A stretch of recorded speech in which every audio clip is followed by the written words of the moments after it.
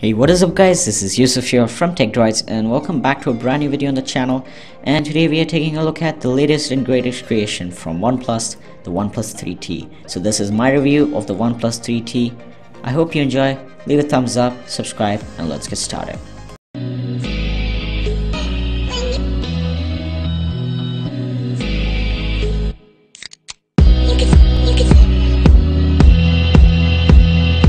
So, you know the OnePlus 3 right? The $400 super budget phone that competed with flagships and it competed with phones like the Galaxy S7 Edge, the Google Pixel and the iPhone. And it was a $400 phone that had the Snapdragon 820, 6GB of RAM, 3000 mAh of battery, USB Type-C and dash charging, which was the fastest, which is still the fastest charging available on the market. And it had a good 1080p display, good metal design, and not much of a price for a flagship killer. It was only $400, 399 off contract and you can do anything. It has 64 gigs of internal storage out of the box and it's still a great phone. If you can buy it, grab a deal and just don't wait for it.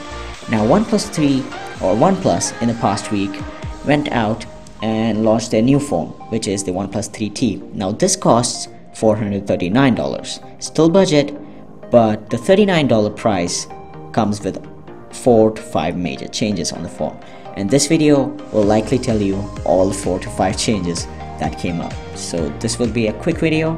And there's not a look at in the OnePlus 3T than like uh, comparing it to the OnePlus 3 there's not a lot of changes but the changes that have come up are really good. And let's take a look at them.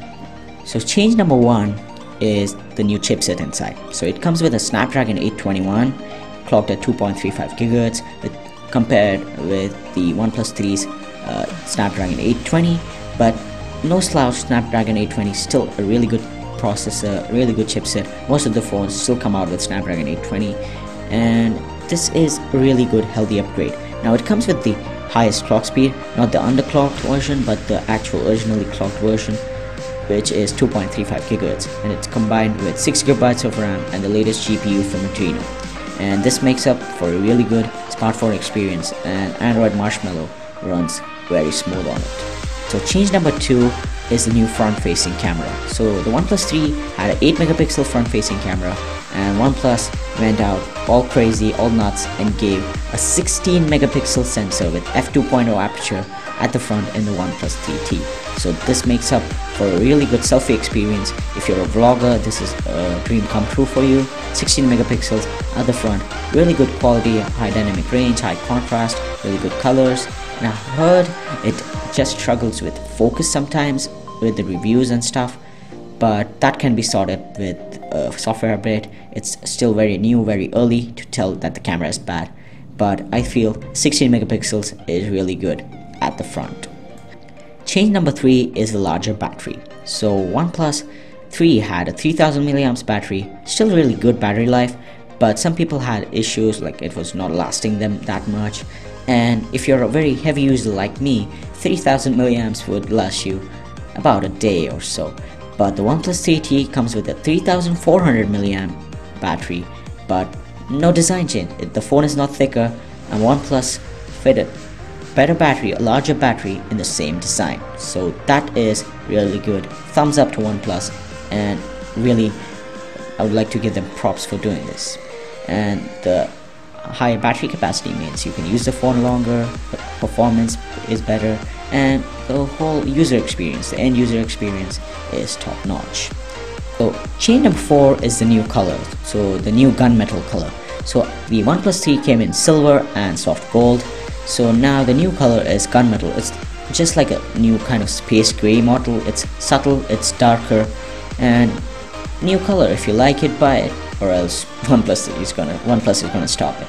So that is the fourth change.